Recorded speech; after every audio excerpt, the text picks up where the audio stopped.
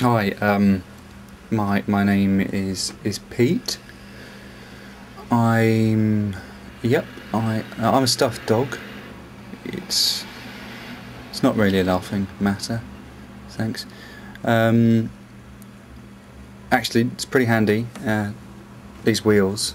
You'd be surprised actually, especially when when someone you know sends you sends you down down a hill or or something like that. It's it's a buzz, man. It's, a real buzz. I spend most of my time. I spend a lot of my time here actually, uh, waiting.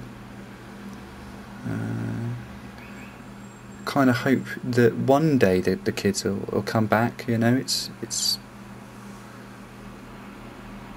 Can't can't say I'm that busy anymore since they left, but you know, I find things to do like um, like uh, waiting in different places. Uh, I like it down here.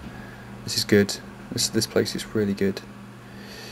Um, but you know, uh, you find things to do, don't you? I guess, I guess it's just a bit like retiring, or um, a sudden change of pace. You know, moving to the country from the city.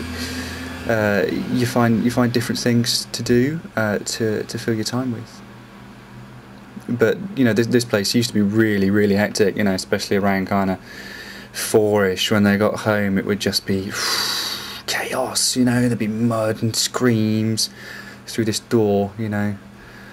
And and this this is where you know bath time oh so much fun. Blimey you know. Uh, it'd be you know little, little Timmy Timmy Tip Top or whatever his name was the frog guy and I'd, I'd be in here sometimes, I'd get sopping wet, it'd take me a long time to dry out, but you know, I don't mind, I don't mind, you know. It was affectionate, um, and sometimes they get soap in, in my eyes, but you know, that didn't bother me because cause they're, they're made of plastic. Um, th this is one of my favourite spots, um, by the window in the bathroom. Um, I often spend a lot of time sat here thinking I'm like uh, Jane Eyre or something, you know uh, pining for Mr. Rochester. It's not not that I spend all my time pining. You know, I, I, I like this window. To there's some plants here, and I like being able to see the cars go past. Uh, there's an awful lot of them. I'm surprised by how many of them there are. Actually, I'm you know begin to wonder if you if you guys really need that many.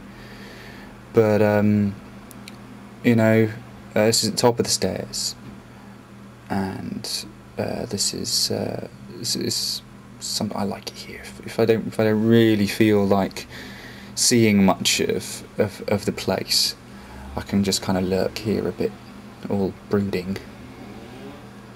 And um, I, I guess you, you know I, I don't resent them or anything. I don't, I don't I don't I don't mind that they've moved on. It's it's inevitable, isn't it? Like life has to go on. Um, be nice if they sent a card or something, or just pop round some time. Maybe a cup of tea. Uh, maybe we could, you know, watch Finding Nemo again. That would that would be really, really nice. Yeah. Yeah.